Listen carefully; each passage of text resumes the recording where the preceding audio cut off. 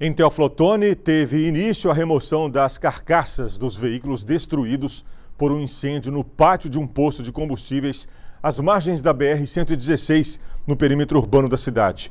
O fogo destruiu 20 veículos.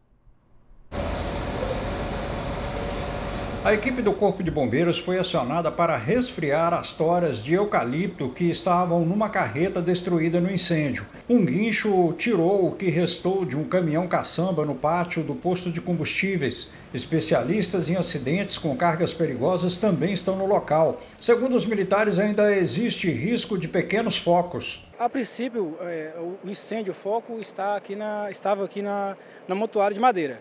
A gente já controlou né, e agora está fazendo um trabalho de rescaldo.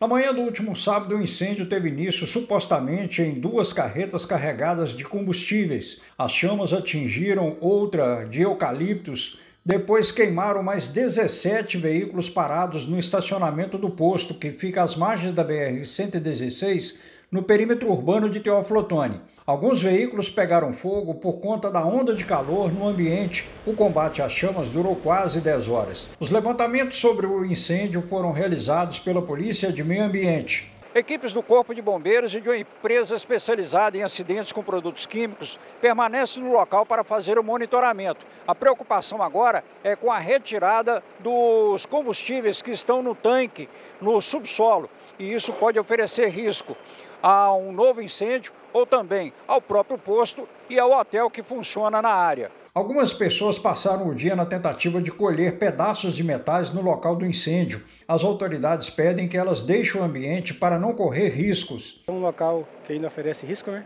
Apesar de que já, já, está, já fez o combate, mas a gente pede sempre para o pessoal né, isolar a área, isolamento de área.